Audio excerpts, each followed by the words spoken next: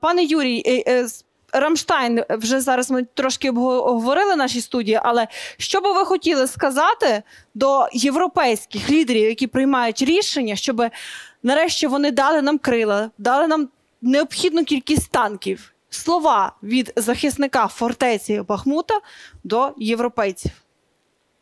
Ну, Фортеця Бахмут це ворота до захисту Європи. Якби Україна не втрималася, то тоді би мала би величезні проблеми Європа. Сьогодні ми платимо податок крові, а Європа платить фінансовий податок. І чим довше ми отримуємо військову необхідну допомогу, тим більше, на жаль, е, життів наших побратимів ми втрачаємо. Тому що Росія пропонує перетворити Бахмутську битву в Бахмутську м'ясорубку, не шкодує взагалі своїх солдат. На жаль, поки що на цій вузькій ділянці фронту має кількакратну перевагу в артилерійському озброєнні. Е, відповідно, кожна секунда затримки це життя українських солдат. Хоча цю долю цієї війни вирішать не танки і не літаки. Долю цієї війни вирішить характер, воля, стійкість українських солдат. Бо все-таки війни виграють солдати, і якою б не була сильною Росія, вже май, майже рік ми показуємо тут, що Україна здатна чинити опір. А звичайно, наявність е, західної зброї. Я мрію пересісти з пікапа з Л-200, який купили мої побратими-волонтери, на хоча б на будь-яку броню, щоб хоча б безпечно заїжджати на позиції, з них виїжджати. Тому для нас наявність зброї, артилерійського озброєння, танків це передусім життя і наших побратимів. На жаль, маємо втрати кожного дня і сьогодні теж, тому що бої носять дуже жорсткий, дуже брутальний характер, і відповідно. Чим швидше надійде допомога Україні, тим легше нам буде виконувати свою роботу. Пане Юрію, яка ситуація загалом у Бахмуті, і яка як воюють проти вас, які методи застосовують наш ворог, Росія, чи посилюється тиск? Ситуація класична, ситуація нова.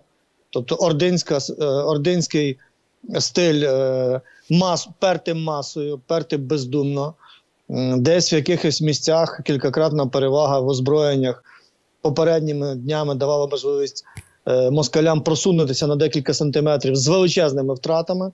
Останніми днями ми відбили значну частину позицій. Ситуацію на фронті значно е, ви значно покращили. Ось горжуся, що мій полк. П'ятий окремий штурмовий полк щодня в зверненнях президента ви чуєте назву нашого полку. Горжуся те, що ми міцно тримаємо цю фортецю. Горжуся, що на нашій ділянці фронту, де ми її тримаємо, жодного метра української території не втрачено. А скажіть, будь ласка, от е, те, що вони сунуть отакою, як ордою, хвиля за хвилею, я так розумію, що е, ну принаймні з того, що читала в телеграм-каналах різних, що в перші ряди вони е, ставлять мобілізованих, а вже далі йдуть так звані оці їхні аля елітні спідрозділи вагнерівці. Чи це неправдива інформація? Ми зустрічалися на цій ділянці фронту. Ми вже тут е, восьмий місяць, близько півроку саме на цій ділянці фронту. То ми зустрічалися тут із мобілізованими, із першим корпусом ДНР, із вагнерами. Е, тактика міняється в дрібницях, але не міняється загалом. Бездумне використання людей, нецінування взагалі людей, пропертись ціною, пройти кудись до якоїсь дати. Зараз дуже посилилося використання Е, артилерійського вогню і реактивної артилерії. Тобто зараз ми на собі постійно відчуваємо роботу російських градів, е, підсунулася їхня артилерія, по прямої наводку стріляють рапії, танки, дуже близько тому очевидно, як штурмова код, як штурмовики, отримуємо хорошу підтримку української артилерії.